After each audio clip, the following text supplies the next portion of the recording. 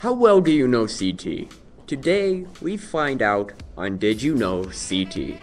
Number 1. Did you know the diamonds on the ground in the hallway corresponds to each one of the science subjects? Green is biology, red is physics, and blue is chemistry. This also works for the upper pods and the other subjects. Green is history and social studies, red is English, and blue is world language. With this, you can know whether or not you walked into the right pod, since, after all, the inside of the pods look really similar. Number 2. Did you know that there are paw prints outside of a school? If you did, you probably have seen the ones outside the student entrance, but did you know there are a few other sets around the school? One set outside the main entrance, a few near the tennis courts, and one set pointed going into the student parking lot. Number 3. Did you know that the school sells coffee?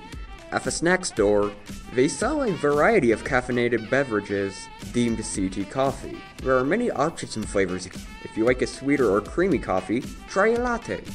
Or if you wanted something more bitter and acidic, you can have an Americano. Number 4. Did you know that in CT's engineering classes, the students get to make projects such as light sculptures, and they get to build their own professional clocks? Number 5. Did you know in Mr. People's AP Physics 2 class that the students get to build their own cardboard boats and rafts and have them cross the school swimming pool? Their challenge is to build a two-person vessel out of cardboard and tape with oars made out of PVC pipe and cardboard. Some folks do really well, others not so much. But it's definitely an unforgettable experience nonetheless.